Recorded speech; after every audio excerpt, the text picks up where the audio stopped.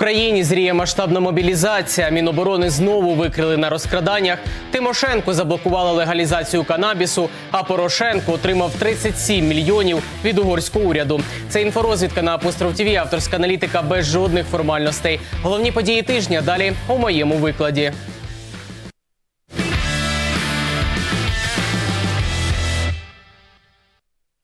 Півмільйона мобілізованих, півмільярда гривень. Жінок до лав армії примусово не залучатимуть. А от щодо чоловіків віком до 27 років подумають. Україна вивчає варіанти відчутного посилення армії за рахунок живої сили. Мотивації населення не вистачає, а декому повістки здаються справжнім вироком. Тим часом бійці на передовій чекають ротації після двох років важких кровопролитних боїв. І їх погляд був на ставці, що вони запропонували е, мобілізувати додаткових 450-500 тисяч людей. Це дуже серйозна цифра. Е, я сказав, що мені потрібно більше аргументів для того, щоб підтримувати цей напрямок, тому що це питання, перш за все, людей. Друге, це питання справедливості, це питання обороноздатності і питання фінансів. Корупція у центрах комплектування найбільша проблема мобілізації в Україні. Так вважають аналітики Wall Street Journal. Повідомлення про те, що чиновники беруть хабарі за звільнення чоловіків від служби, стали настільки поширеними, що у серпні президенту Зеленському довелося звільнити всіх обласних начальників ТЦК. Водночас уряд досі не оголосив про більш ґрунтовну ревізію системи призову, хоча розмови про необхідність змін тривають уже кілька місяців. Крім того, за версією видання, чималі труднощі з віком мобілізованих до лав армії усе частіше потрапляють 40-50-річні жителі селищ, які просто не можуть собі дозволити відкупитися.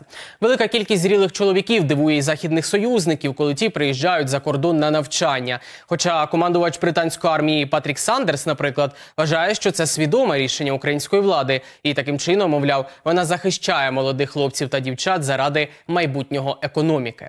Українські чоловіки призовного віку, що проживають за кордоном, мають з'явитися у ТЦК вже наступного року, інакше санкції. Таку звістку з посиланням на інтерв'ю міністра оборони Рустема Умєрова газетам Біль та Політіко опублікував німецький телеканал Вельт. Новина, що з'явилася на сторінках західних видань, наробила чималого галасу як в Україні, так і за її межами. Утім, не минуло й кількох годин, як повідомлення офіційно спростували. Спустили нанівець заголовки, промовляв невідворотне звільнення Криму вже у 2024-му. В розмові з європейськими журналістами Умєров запевнив, деокупація півострова стратегічна мета Києва, якої, як сподівається, чиновник обов'язково досягнуть. Утім, медійники слова очільника Міноборони за версією самого ж відомства знову перекрутили. Ще півмільйона військових на фронт забаганка чи необхідність. Думки українців розділилися. Одні вважають, що масова мобілізація допоможе посилити армію та її резерви. Інші ж впевнені, мобілізувати треба, коли на це є гроші. Я считаю, что в целом это правильное решение формировать резерв, если он будет нужен заранее, чтобы люди прошли полное обучение. це не поможе. Бо ну, мобілізувати купа людей і нічого їм не давати це різні речі. Ні, я думаю, цього не буде достатньо. Нам потрібна допомога Заходу, Америки. Нашого війська не вистачить. На- Ну, це моя думка. Э, всплывает мотивация у людей. И поэтому люди сейчас как бы мне кажется, людей, которых будет как бы принудительно пытаться заставлять щось робити, це вже не, не, не та війська буде. Е, Ну, це моя точка зору. Головнокомандувач невдоволений. Новий проєкт рекрутингу до збройних сил поки рано оцінювати, а мобілізація має повернутися в ті рамки, в яких працювала раніше. Впевнений Валерій Залужний. На його думку, посилювати мобілізацію не варто. Достатньо лише налагодити вже відпрацьовані процеси. Крім того, вважає головнокомандувач звільнення більшості обласних військомів, нібито було помилковим. Мовляв, серед вигнанців чимало професіоналів. Рекрутинг оцінювати ще трошки зарано, трошки зарано. А що стосується питань мобілізації, то ну, її не то, що треба підсилювати, а повернути в ті межі, ті рамки, як працювали раніше. Тому що зараз це, е, скажімо так, проблема тих хлопців, які воюють на передньому краї. Їх має хтось замінювати, їм має хтось допомагати. І вони зараз ну, з часом залишаються сам на сам, а це зовсім неправильно. Тому його просто треба повернути на ті рамки, в яких воно було, в яких воно працювало раніше. Розставити крапки над і має законопроєкт про мобілізацію, рекрутинг, демобілізацію та інші особливості проходження військової служби, який напрацьовують у Верховній Раді. Прізвища авторів ключового документу поки не розголошують. Утім, відомо, що це міжфракційна депутатська група, яка колись була створена для перерозподілу фінансування грошових виплат для сил безпеки та оборони. І до неї точно входить Мар'яна Безугла від Слуги народу. Отож, проект закону передбачає зокрема посилення ролі поліції, державних органів та адміністрації, які зобов'язані сприяти мобілізації. Останні з цього приводу вже активізувалися, вигадуючи способи для покращення ефективності роботи ТЦК від облаштування блокпостів по місту до залучення ОСББ для поквартирного обходу представниками військоматів. Виписувати повістки зможуть не лише співробітники ТЦК, а й правоохоронці. Водночас самі військовозобов'язані муситимуть надати дані про місце проживання своєму роботодавцю, пройти медогляд, самостійно з'явитися у військомат для уточнення даних та постійно носити з собою військовий квиток. Так чи інакше владі доведеться ухвалювати складні рішення, впевнені журналісти The Economist. Україна ризикує потрапити у пастку, адже вже після завершення президентських виборів у березні Росія миттєво посилить мобілізацію. До речі, з таким твердженням погоджується і в головному управлінні розвідки. Протягом усієї великої війни президент Зеленський чинив опір максималістським закликам своїх військових щодо набору до армії. Очільник держави не хоче бути диктатором, сказав виданню високопоставлене джерело в уряді. Утім, схоже, значущих змін таки не уникнути. Бійців не вистачає. Україна стикається з проблемами мобілізації. На владу чекають важкі рішення. Пише The Economist. Як стверджує видання, найбільше негараздів війську приносить так звана лотерея із розгортанням. Мовляв, військовослужбовці і раді були б долучитися до лав армії, однак бояться опинитися прямо на лінії розмежування без попередньої підготовки або за її недостатньої кількості. На думку речника Міноборони Іларіона Павлюка, ще одна проблема частково полягає в успіхах ЗСУ. Люди вірять, що хтось виконає всю роботу за них. Цитує пресофіцера The Economist. Водночас, усвідомлюючи ситуацію, командування розпочало роботу над новою мобілізаційною стратегією. Реформи спрямовані на те, аби новобранці мали змогу обрати посаду самостійно. З'явилася чітка система відпочинку і ротацій, а добровольців брали до лав армії на певний період, а не безстроково, так як це відбувається зараз. Хотіли налякати мобілізацію, але пранк вийшов із під контролю. Співробітники ТЦК не причетні до нібито спроби викрадення чоловіка в Одесі. А військових, яких залучили до невдалого розіграшу, перевірять, заявили в оперативному командуванні Південь. Як з'ясувалося, жінка, що так відчайдушно захищала свого чоловіка від людей у військовій формі, сама ж ініціювала шоу зі швидкою. А все для того, щоб домогтися розділу майна у процесі розлучення. Допомогли одесиці друзі з фронту, які погодились запхати чоловіка у службовий спецтранспорт і залякати його мобілізацію. Напередодні пранк потрапив в об'єктиви камер і збурив соцмережі.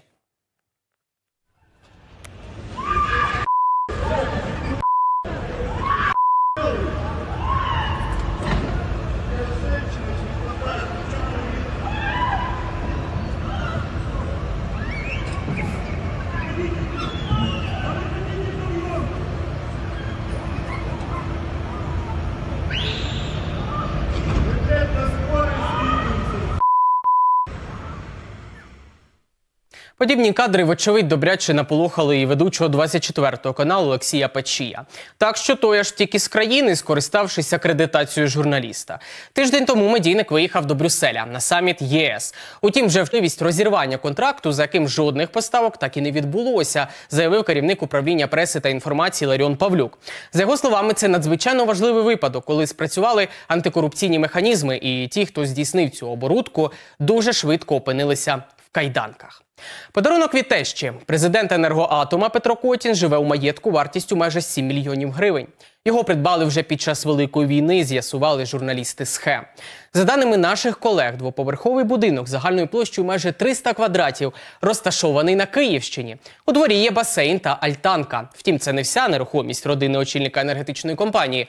В іншому селі, неподалік столиці, у тещі Котіна, є земельна ділянка з виходом до озера, доступним винятково мешканцям котеджного містечка. Родичка чиновника придбали її кілька років тому, тоді як маєток, де живе президент енергоатома, з'явився у власності тещі у червні 2023-го. Водночас офіційних доходів, яких би вистачило на таку покупку, жінка нібито не мала. Після запитання журналістів, звідки взялися кошти, вона поклала слухавку. А тесть Петра Котіна стверджував, що взагалі його не знає. Це можливо Петро Котін допоміг купити ці всі маєтки, де він зараз мешкає. Знаю, ніякого Собакіна ніяк. Ні, Петра Котіна, Не знаю я такого. президент енергоатома. Не знаю я такого. Зараз він ваш зять. Ну, так що? Ну і ви не знаєте, хто це? Знаю, що. Ну так що? Так ви спочатку казали, що не знаєте, тепер знаєте. Я просто отвечаю вам так, как вы мне задаете Тим часом тесть вже іншого чиновника активно скуповує землю у передмісті Львова, попри відсутність доходів. Йдеться про родича заступника голови обласної адміністрації Івана Собка Ігоря Кадикало. Журналісти NGL Media з'ясували, 65-річний пенсіонер, який ніколи не займався жодним бізнесом, витратив на це понад 2 мільйони гривень. У руках чоловіка вже десяток ділянок у Брюховичах загальною площею більш ніж пів гектара і вартістю щонайменше 11 мільйонів гривень. Видання припускає, гроші насправді походять від посадовця Львівської ОВА, який працює на державній службі все життя. Російське громадянство та бізнес в анексованому Криму знайшли у продюсера і засновника Ліги сміху Наума Барулі. Він, за даними журналістів схем, неодноразово відвідував півострів вже після його окупації, перереєстрував там майно і бізнес за законодавством РФ, а ще придбав нерухомість загальною сумою в 60 мільйонів рублів. У Крим Баруля в'їжджав завдяки російському паспорту, який отримав ще 2009 року. Попри повномасштабну війну, його ресторан у Судаку досі працює і сплачує податки до місцевого бюджету. Сам же продюсер викриту журналістами інформацію відкидає. Я не знаю, що вони там малювали, що вони там реєстрували. Я нічого не. Я нічого не оформляв. А хто тоді це зробив і в чиїх інтересах? Я нічого не оформляв. А от нібито наявність російського паспорта у голови Вищої кваліфікаційної комісії суддів навпаки спростували. Номер документа, який раніше оприлюднила служба зовнішньої розвідки, виявився комбінацією цифр із радянського документа Романа Ігнатова. Водночас громадянства країни-агресорки посадовець ніколи не мав, стверджує журналіст Радіо Свобода Георгій Шабаєв. За його словами, той перевіряв Ігнатова ще під час відбору членів комісії. До того ж, на обліку російської офіційної системи Роспаспорт немає такого громадянина. Напередодні видання дзеркало тижня писало, мовляв, спецслужби надіслали ВККС листа, в якому йшлося про те, що її очільник може мати паспорт РФ. Комісія відреагувала на повідомлення і запевнила, що прагне підтвердити чи спростувати цю інформацію. Бюджетний кошт дерибанили у Києві. Поліція викрила ще одну схему розкрадання на зведенні Подільського мосту. Заступнику очільника дирекції будівництва шляхотранспортних споруд оголосили підозру. Слідчі з'ясували, той підписав акти виконаних робіт із значно завищеними даними про вартість оренди будівельної техніки. Попередня сума збитків столичному бюджету сягає 24 мільйонів гривень. До слова, це вже друга підозра, яку отримав посадовець. У вересні він так само не помітив за високих цін на пісок, внаслідок чого будівництво здорожчало на понад 6 мільйонів гривень. Ймовірно, саме корупція чи недобросовісне виконання службових обов'язків призвели до того, що в укритті однієї зі столичних шкіл під час тривоги дітям на голови посипалася стеля. І сталося це незадовго після ремонту. Написав у своєму Фейсбуці заступник міністра з питань стратегічних галузей і промисловості Тимур Ткаченко. У КМВА вже ініціювали службову перевірку. Попередньо причиною балу став зрив вентиля батареї опалення. Місцева влада підтвердила, що в бомбосховищі нещодавно зробили капітальний ремонт. На щастя, обійшлося без постраждалих.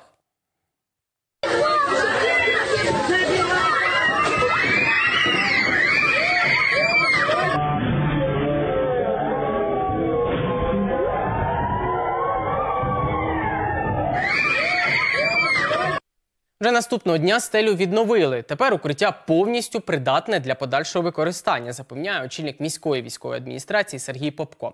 Він також підписав доручення про негайну інспекцію всіх столичних бомбосховищ. Кожному районі створили комісії, які вже до 29 грудня мають відзвітувати про результати перевірки. У разі виявлення недоліки обіцяють усунути в найкоротший термін.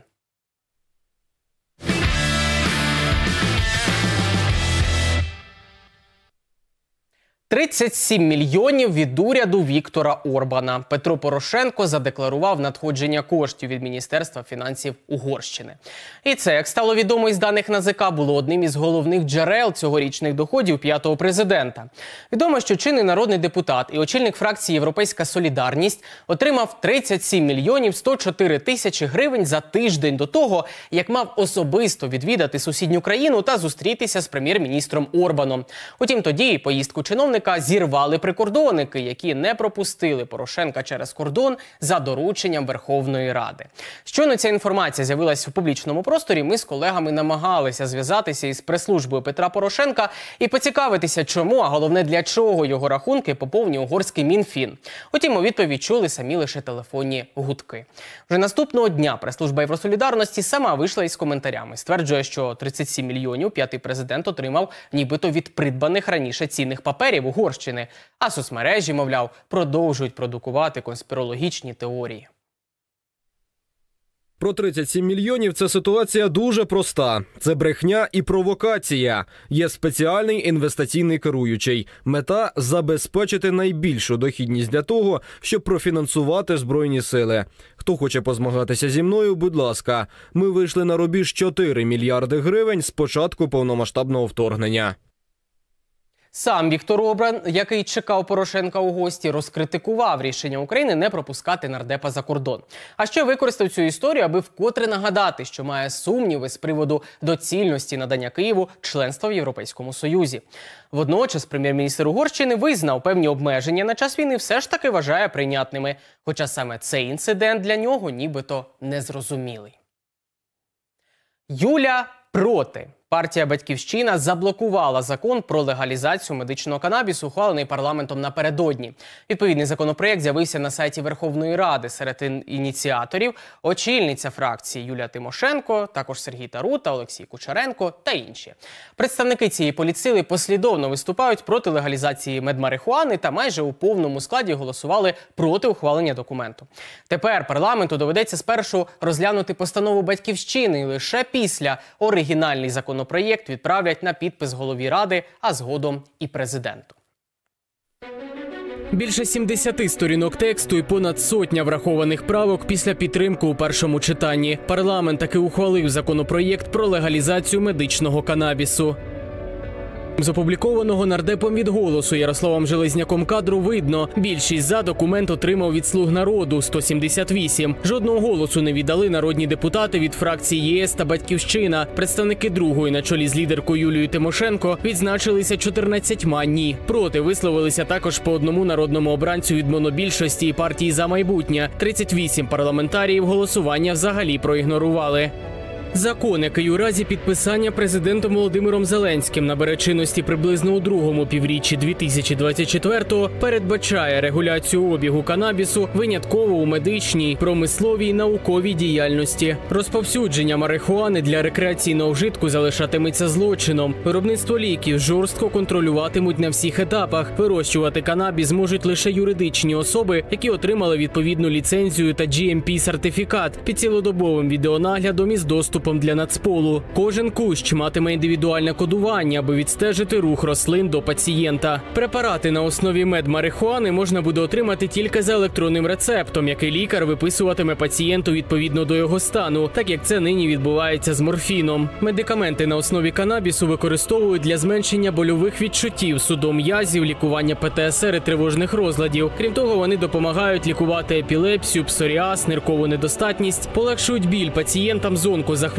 та хворим на ВІЛ. Такі препарати дозволені вже у понад півсотні країн світу, зокрема державах ЄС, у Канаді, Великій Британії та Сполучених Штатах. У міністерстві охорони здоров'я рішення Верховної Ради назвали історичним, адже завдяки йому, мовляв, необхідні ліки отримують мільйони людей. Перелік хвороб і станів, за яких пацієнту можуть призначити медикаменти на основі канабісу, затвердять вже незабаром.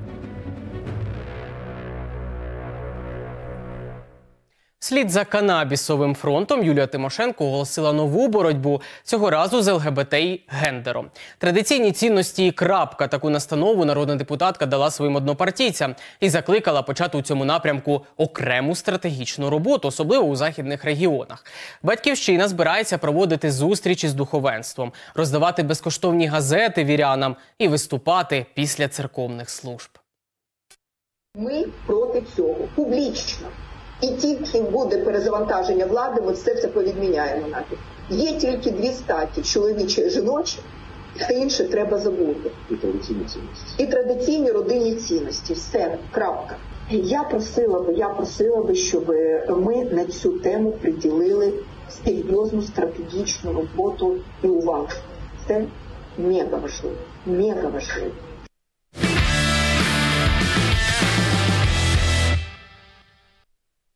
Тиждень позаду, отже, на сім днів ще ближче до перемоги. Це інфорозвідка. Я Олег Булах. Зустрінемось наступної суботи рівно о 18 Я бажаю вам гарних та веселих свят. Залишайтеся за Постров ТІВІ.